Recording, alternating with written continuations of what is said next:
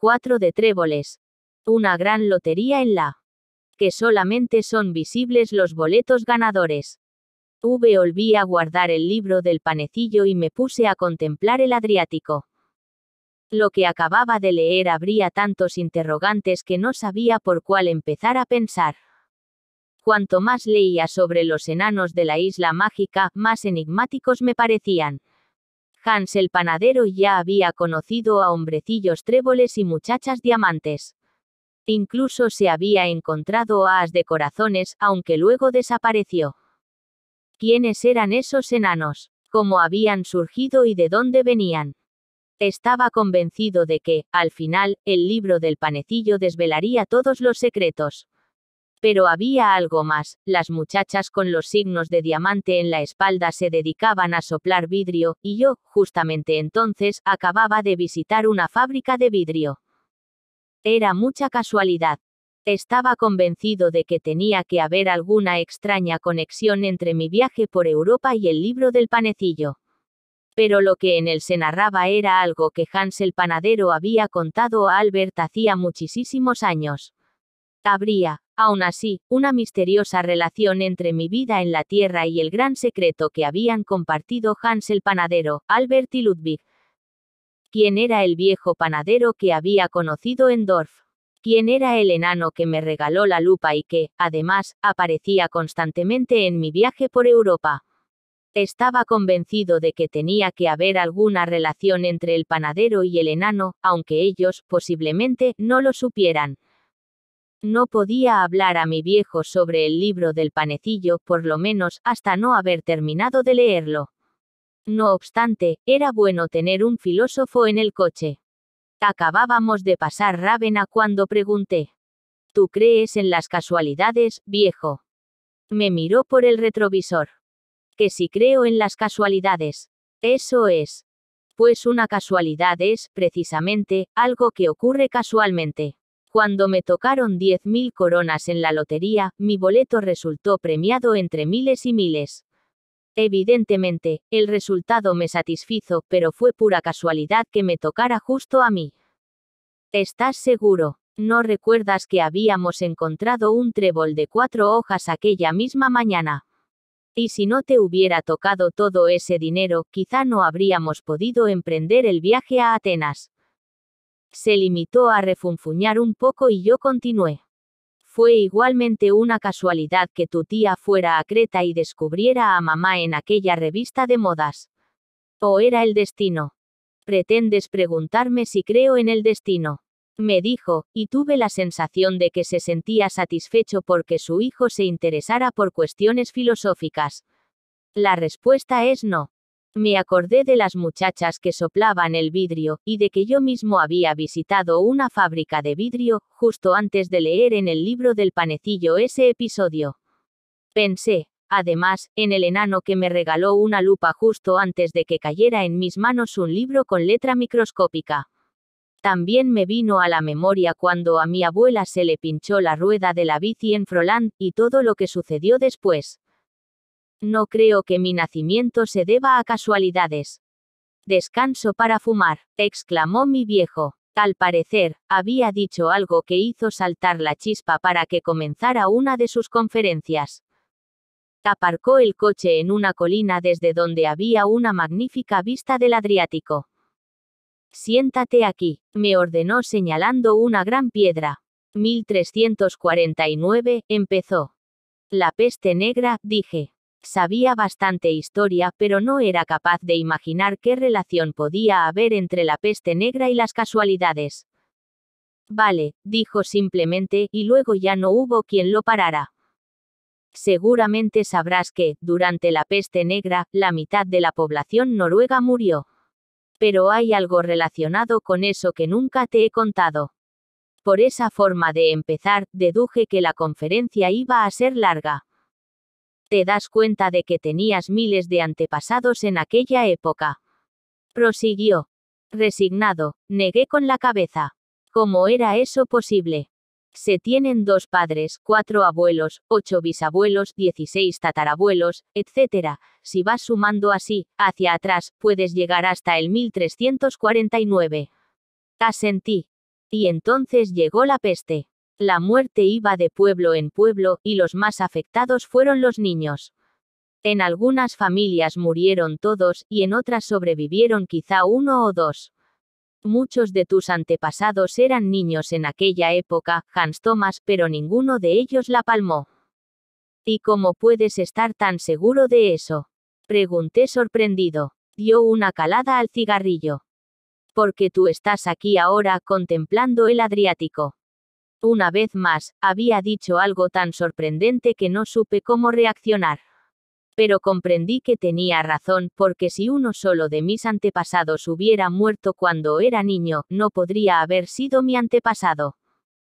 La posibilidad de que ninguno de tus antepasados muriera de niño, era una contra miles de millones, continuó, y a partir de ese momento, las palabras fluían de su boca sin parar como el agua de una cascada.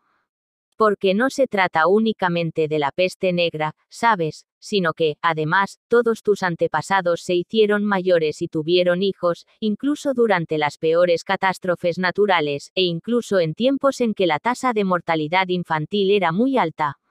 Naturalmente, muchos padecerían alguna enfermedad, pero siempre se recuperaron.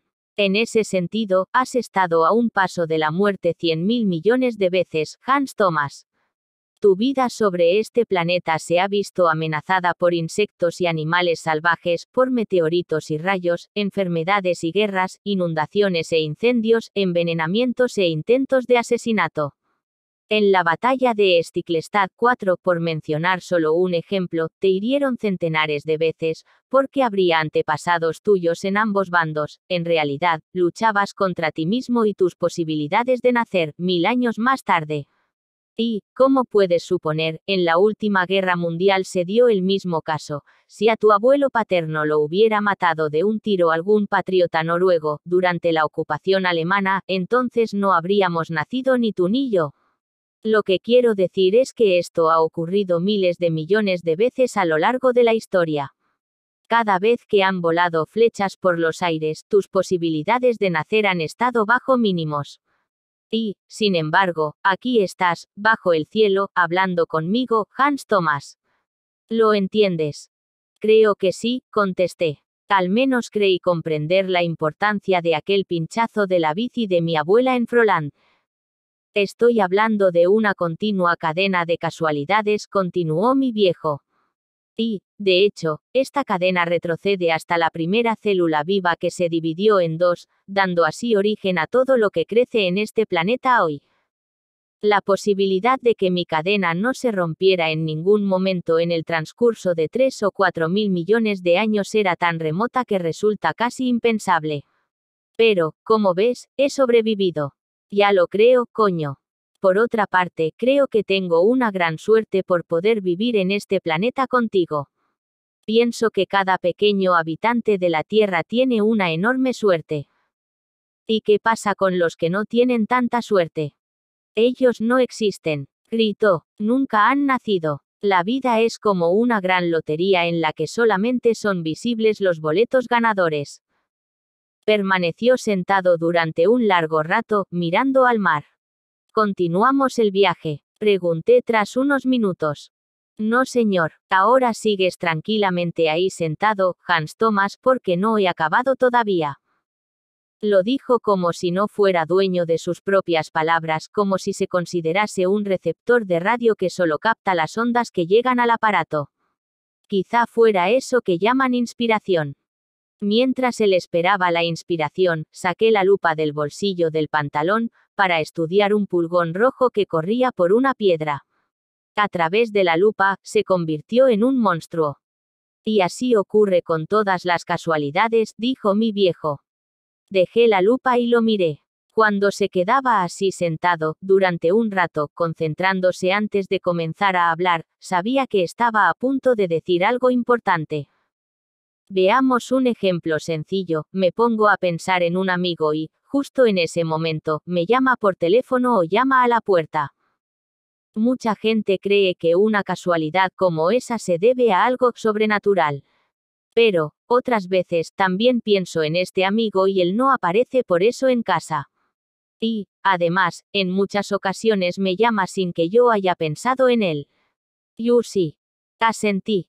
Lo que quiero decir es que la gente solo colecciona aquellas ocasiones en que ambas cosas ocurren a la vez. Si se encuentran un billete justo cuando les hace mucha falta, creen que ha sido motivado por algo sobrenatural, incluso cuando siempre están faltos de dinero. De esta forma empiezan a propagarse un sinfín de rumores sobre distintas experiencias sobrenaturales cuando, en realidad, son experiencias que todos los humanos han tenido. La gente muestra tanto interés por estas cosas que enseguida surgen las historias. Pero con esto ocurre también lo que te he dicho antes, solamente son visibles los boletos ganadores. Si colecciono comodines, no resultará muy extraño que tenga el cajón lleno. Suspiró algo irritado. ¿Nunca has pensado en pedir una subvención? Pregunté. ¿De qué demonios estás hablando? Gruñó de una posible subvención del Estado como filósofo. Soltó una carcajada, y luego, bajando un poco la voz, añadió. Cuando la gente se interesa tanto por lo sobrenatural, es debido a una extraña ceguera. No son capaces de ver lo más misterioso de todo, es decir, el hecho de que haya un mundo. Les preocupan más los marcianos y los platillos volantes que toda la misteriosa obra de creación que se extiende a nuestros pies. Yo no creo que el mundo sea una casualidad, Hans Thomas. Finalmente se inclinó sobre mí y susurró. Yo creo que todo en el universo es intencionado. Puede que tras esa infinidad de estrellas y galaxias haya una intención. Me pareció que lo que acababa de decir formaba parte de una larga serie de instructivos descansos para fumar pero me seguía extrañando que todo lo que tenía que ver con el libro del panecillo fuera casual. Quizá fuera una ciega casualidad el que mi viejo y yo estuviéramos en Murano justo antes de empezar a leer sobre los enanos de diamantes. También podía ser el mismo tipo de ciega casualidad el que me hubieran dado una lupa justo antes de encontrar dentro de un panecillo un libro escrito con una letra minúscula pero el que fuera precisamente yo el que recibiera el libro del panecillo, debería de tener alguna intención. 5 de tréboles. Ya no me resultaba fácil seguir jugando a las cartas. Cuando llegamos a Ancona aquella noche, mi viejo estaba de tan buen humor que casi me daba miedo. Mientras estábamos esperando en el coche para embarcar, permaneció en silencio con la mirada clavada en el barco. Era un gran barco amarillo, llamado Mediterranean Sea. La travesía hasta Grecia duraría dos noches y un día. El barco zarparía a las nueve de la noche. Pasaríamos todo el domingo en el mar, y, de no ser atacados por piratas, pondríamos pie en tierra griega el lunes a las ocho de la mañana.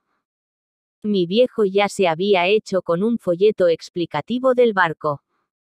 Pesa 18.000 toneladas, Hans Thomas, así que no es ninguna bañera. Va a una velocidad de 17 nudos y caben en el más de 1.000 pasajeros y 300 coches. Tiene varias tiendas y restaurantes, bares, solarium, discoteca y casino. Pero eso no es todo, ¿sabías que hay una piscina en la cubierta? No es que eso sea muy importante, solo quería comprobar si lo sabías. Y ahora tengo que hacerte una pregunta, ¿te da mucha pena no pasar por Yugoslavia en coche? Piscina en la cubierta, fue lo único que dije. Creo que tanto mi viejo como yo comprendimos que no había nada más que decir. Y, sin embargo, mi viejo añadió.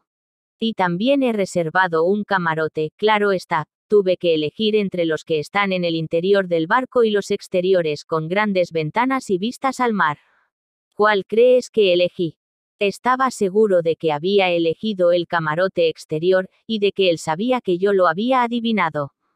Por eso me limité a decir. ¿Había alguna diferencia de precio? Algunas liras, sí, pero no iba a llevar a mi hijo al mar para encerrarle en un escobero. No le dio tiempo a decir nada más, porque empezaron a hacernos señas para que nos metiéramos en el barco. En cuanto aparcamos el coche, fuimos a buscar el camarote. Estaba en la segunda cubierta, y tenía una decoración muy bonita, camas anchas, cortinas, lámparas, una mesa de salón y sillones. Por la ventana, se veía a la gente pasear por la cubierta. Aunque el camarote tenía unas ventanas muy grandes y era super guay, decidimos que no podíamos seguir allí dentro. Lo decidimos sin tener necesidad de intercambiar una sola palabra. Antes de dejar el camarote, mi viejo sacó una petaca y bebió un trago. Salud, exclamó, aunque yo no tenía nada con qué brindar. Pensé que debía de estar muy cansado, después de haber conducido desde Venecia. Quizá también había sentido un ligero hormigueo en las piernas, al volver a caminar dentro de un barco, después de tantos años en tierra. Yo me sentía, además, mucho más feliz de lo que me había sentido en mucho tiempo. Y, sin embargo, o quizá precisamente por eso, hice un comentario sobre esa maldita costumbre suya de la bebida. Tienes que estar empinando el codo todo el santo día.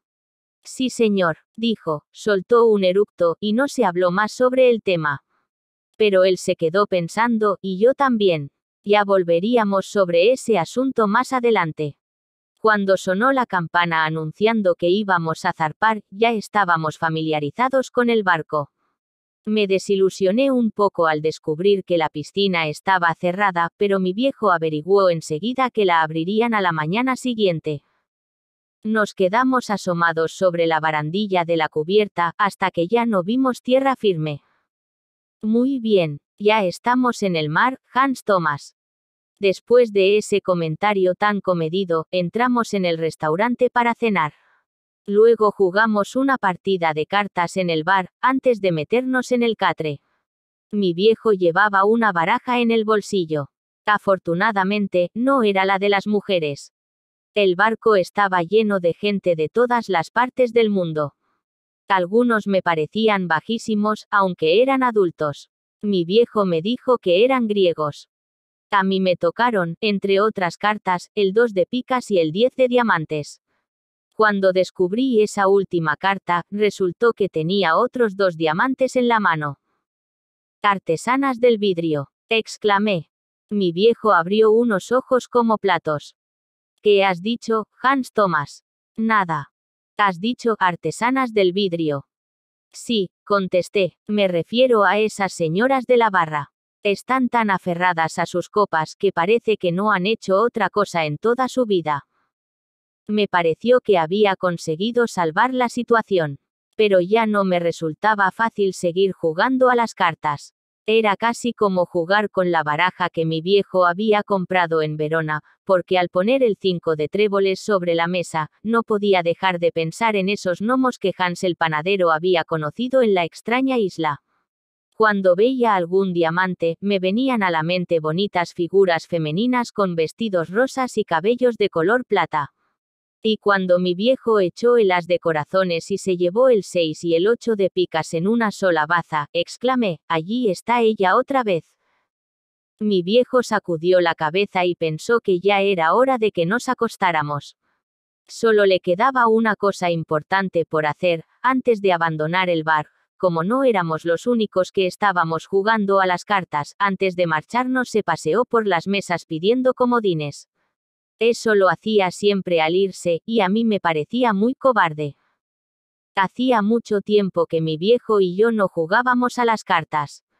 Cuando yo era más pequeño lo hacíamos más a menudo, pero el interés de mi viejo por los comodines había ido quitándome las ganas de jugar. Por otra parte, él era un genio para los trucos con la baraja. Pero la mayor de todas sus hazañas con las cartas fue una vez que inventó un solitario que, en el mejor de los casos, tardaría días en salir. Para poder disfrutar de ese solitario, no solo haría falta paciencia, también habría que disponer de mucho tiempo. De vuelta en el camarote, nos quedamos un rato mirando al mar. No se veía nada porque era totalmente de noche pero sabíamos que aquella oscuridad que estábamos contemplando era el mar. Por delante de nuestra ventana, pasaron unos norteamericanos armando mucho jaleo y, entonces, echamos las cortinas y mi viejo se tumbó en la cama. Debía de haber tomado suficiente medicina para dormir, porque inmediatamente se quedó frito. Yo me quedé tumbado, observando cómo se mecía el barco. Al cabo de un rato, saqué la lupa y el libro del panecillo, y seguí leyendo la increíble historia que Hans el panadero había relatado a Albert, quien, a su vez, había perdido a su madre de pequeño.